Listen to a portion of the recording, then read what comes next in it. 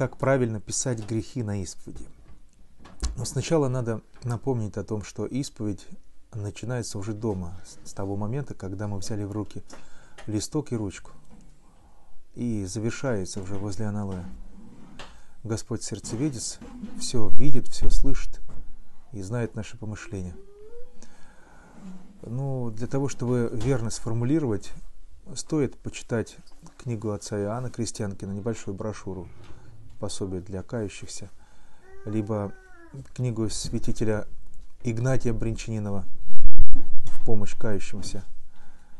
И та, и другая, и все другие на эту тему написаны, они похожи тем, что человек берет заповедь, смотрит, как надо, и сравнивает со своей жизнью, как на самом деле есть.